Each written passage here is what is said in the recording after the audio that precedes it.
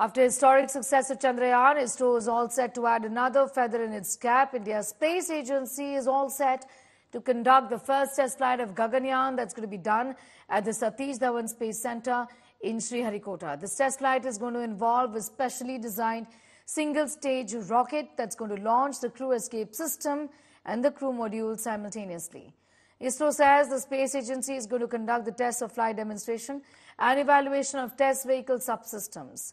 Gaganyaan project is going to demonstrate human spaceflight capabilities, doing so by taking a three-member crew to an orbit of 400 kilometers on a mission that's going to last three days and then bring the crew back safely, with the landing set to take place in the Indian sea waters.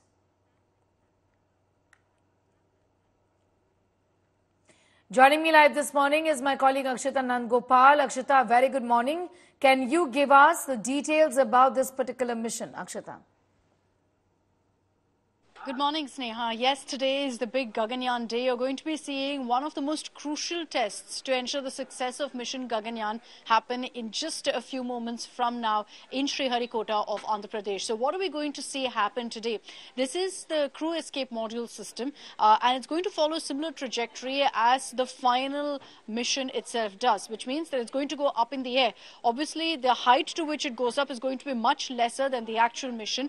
Uh, so what we're hearing is that it's going to go up about a height of 17 kilometers and then a controlled drop down. It'll touch down in the sea about 10 kilometers off the coast of Sriharikota into the Bay of Bengal. There, the Indian Navy has also been roped in. They're going to be involved in ensuring that they rescue that particular module. So all of this will come into effect because what you're going to see is uh, a trial of the emergency exit that's being put in place. The crew escape module system essentially ensures that the astronauts who will be a part of the Gaganyaan mission, if if something goes wrong, will have that emergency exit door, that emergency exit option. And that's why this module is so very crucial. In all, Sneha, for the Gaganyaan mission to actually get a go ahead, you're going to see 20 such test runs actually take place of different modules, of different parts. But this one in particular is going to be extremely important. We've shown you pictures of what the crew escape module uh, uh, actually looks like.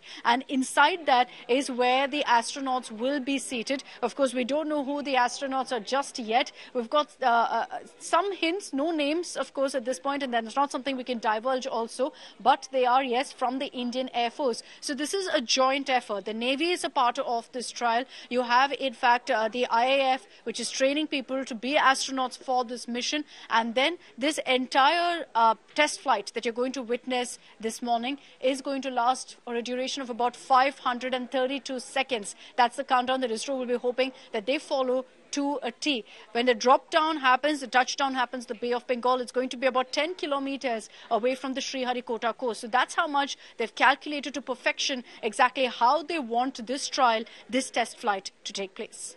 All right, thanking you for the moment, Akshita, getting us up to speed with all those developments.